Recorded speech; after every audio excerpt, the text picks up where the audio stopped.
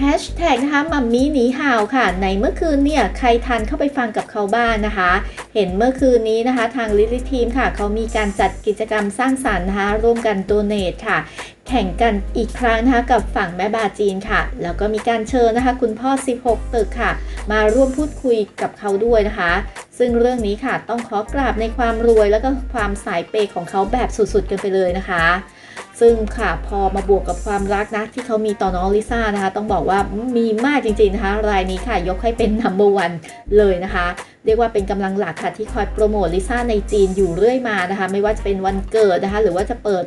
ตอนเปิดดีอัลบั้มเนาะทุกๆ ครั้งค่ะเขาก็เป็นหนักสุดๆนะ ก็จากตอนแรกนะคะที่เราเรียกเขานะคะว่าคุณพ่อ 9 ตึกนะคะตอนนี้ค่ะต้องมาเปลี่ยนเป็น 16 ตึกนะคะเพราะว่าจำนวนตึกที่เขาฉายโปรเจกต์ฉายรูปของนอริซ่าเนี่ยมันเพิ่มขึ้นอยู่เรื่อยๆนะคะตอนนี้มากสุดนะะถึง 16 ตึกกันแล้วนะคะ ซึ่งนะคะก็เห็นว่ามีมาสัมภาษณ์ด้วยนะ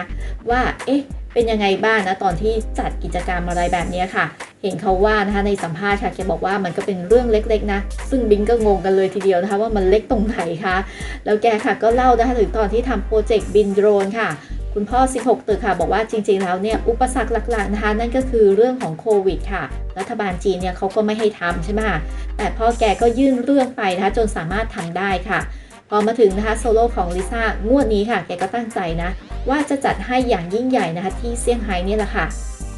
แกบอกนะคะว่า ตอนนี้ก็กำลังหาจุดที่ดีที่สุดให้อยู่นะคะ แต่ว่ามันก็ติดที่โควิดอีกแล้วนั่นแหละค่ะ แต่แกก็บอกว่านะจะพยายามค่ะทำให้ลิซ่าให้ได้อีกครั้งหนึ่งนะคะ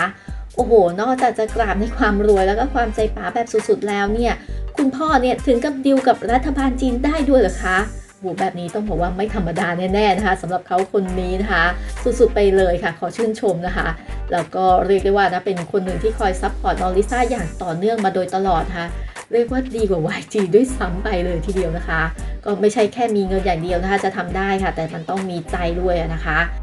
ส่วนด้านตัวเลขการเงินนะคะ เอาจริงๆ ค่ะ แกก็ไม่ค่อยอยากจะเปิดเผยหรอกนะ แต่เมื่อมีคนไปถามค่ะ แกก็บอกว่างบที่ใช้ไปเนี่ยก็ไม่เท่าไหร่หรอกนะ ที่บินโดรนค่ะ ก็หมดไปราวๆประมาณแสนกว่าๆเท่านั้นเอง ฮะไม่เท่าไหร่ละคะคุณพ่อแสนนี่แสนหยวนหรือว่าแสน US ดอลลาร์กันแน่คะถ้าแสนหยวนค่ะก็ลองคูณเล่นๆนะด้วย 5 แล้วกันนะคะ ก็ราวๆประมาณ 5 0 0แสนบาทไทยไปแล้วอะค่ะ เบาซะที่ไหนเนาะก็สามารถนะคะเกือบจะซื้อรถคันหนึ่งได้กันเลยทีเดียวนะคะ เรียกว่าปังปุริเย่ไปเลยค่ะ กราบในความรวยแล้วก็ความรักนะคะ ที่เขามีต่อน้องลิซ่ามากจริงๆค่ะอาแอดก็เอามาเล่าสู่กันฟังแล้วกันนะคะไหนเมื่อคืนนี้มีใครบ้างอยู่ทันได้ฟังกับเขาไหมถ้ายังไงนะคะ ก็ลงมาพูดคุยเพิ่มเติมกันได้นะคะ แล้วมาเจอกันใหม่ค่ะ ในคลิปหน้า